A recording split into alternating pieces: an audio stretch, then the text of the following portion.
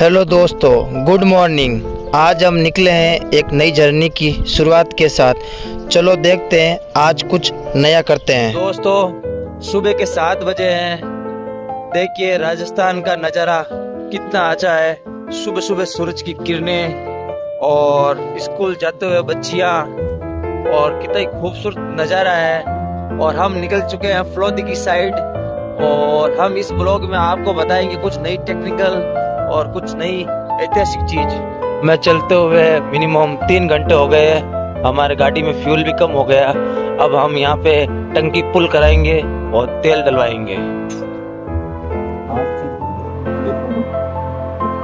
इधर आदिवासी जनजातियों का डेरा है और यहाँ पे आदिवासी रहते हैं। इनके पीछे इनके कबीला है और अगर इनको पता चल जाए कि हमारे कोई एरिया में कोई शत्रु आ गया है तो वो हम पे हमला भी बोल सकते हैं। इसलिए हमें बिना कुछ बताए, बिना कुछ आवाज़ किए यहाँ से हम जल्दी से निकल जाएँगे। ये खतरे की घड़ी है। हम जिस चीज़ के बारे में बताने जा रहे हैं, वो चीज़ हमें करीबन पाँच किलोमीटर दूर से ही दिखाई दे रही है।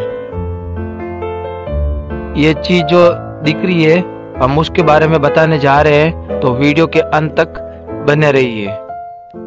अब हम सिर्फ़ तीन किलोमीटर दूर हैं। हम अभी रोड पे चल रहे हैं बट ऐसा लग रहा है जैसे कि हम हाथों को चून लेंगे इसको। बट इसकी ऊंचाई मिनिमम ना ना, तीन सौ, चार सौ फीट ऊपर है, और दूर से देखने पे ऐसा लगता है जैसे कि इसमें हम हाथ लगा लेंगे। बट ये बहुत दूर है अभी तक। अब हम इसी चढ़ाई करेंगे। हमारा रास्ता आगे से है।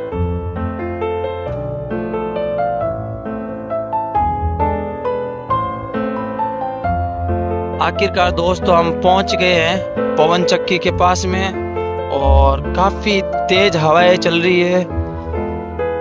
200 किलोमीटर प्रति घंटा की रफ्तार से यहाँ हवाएँ चल रही है। पवन चक्की के बहुत करीब है और पास में ये बिजली की लाइन जा रही है।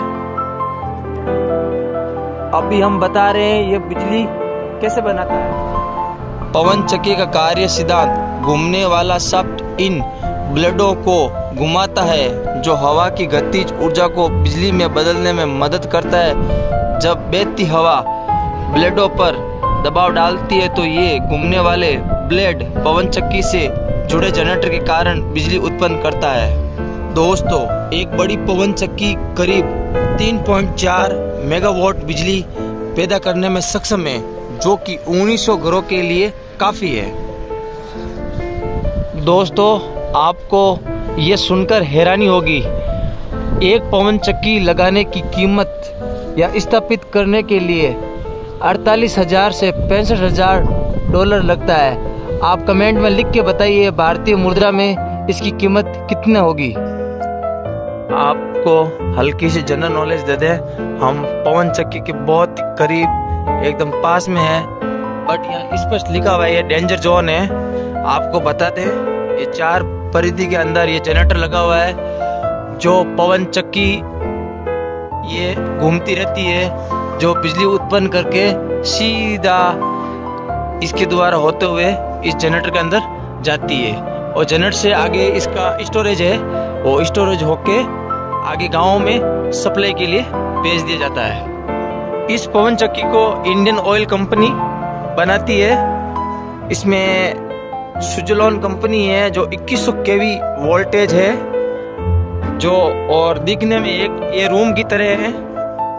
और इसका घेरा मिनिमम 10 बाई 10 एक रूम के भाती है, और इसके अंदर सीढ़ियाँ लगी हुई है। और कुछ भी टेक्निकल प्रॉब्लम होने के बाद में इसका गेट खोल के अंदर सीटें लगी हुई है, उसके ऊपर जा सकते हैं। दोस्तों, आपको बता दे, मिनिमम इसकी ऊंचाई 200 फीट है। और दिखने पे ऐसा लगता है कि जैसे ऊपर ये गिर जाएगी।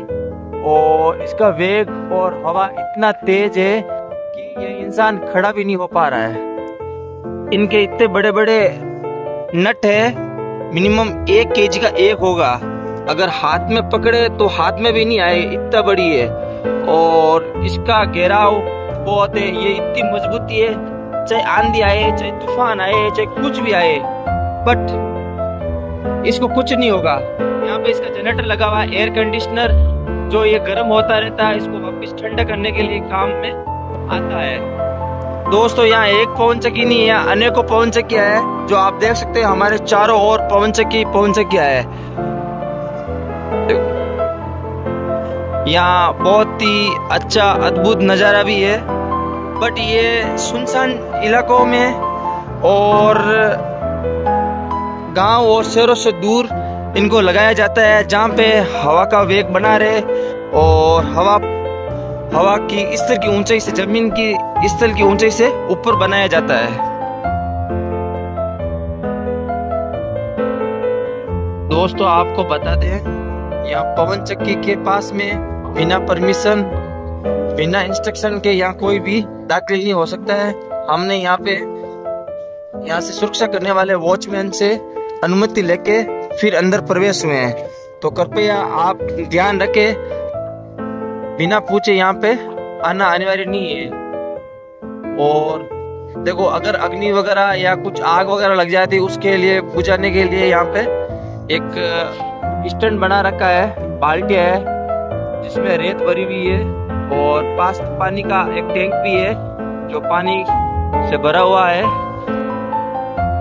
हर एक पवन चक्की के नीचे खुद का एक जनरेटर होता है, जो बिजली को संग्रहित करता है और उससे संग्रहित करके इन बिजली की पोलों के द्वारा कंटिन्यू कनेक्टेड होते हैं।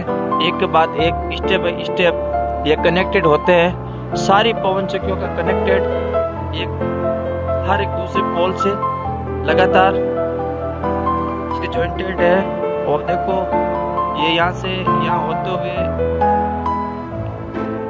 दराज तक जहाँ कहीं भी देखोगे, प्रत्येक पोल एक दूसरे से कनेक्टेड है और उनकी बिजली एक स्थान से दूसरे स्थान पर जाती है और एक बड़े संग्रहालय के पास जाके स्टोरेज हो जाती है। छोटी सी जानकारी के लिए आपको बता दें कि प्रत्येक पोल पे कोई भी यहाँ अनजान व्यक्ति या सुसाइड करने के लिए कोई व्यक्ति आए या भेड़ बकरी चराने वाले व्यक्ति है जो ना समझदार होते हैं, आखिर कोई इसके ऊपर ना चढ़ जाए, क्योंकि ऊपर 2100 केवी की वोल्टेज से चलने वाली लाइन है, जिसको अगर दो तीन फीट से अगर दूर रहे तो भी बिजली का करंट आने का डर बना रहता है।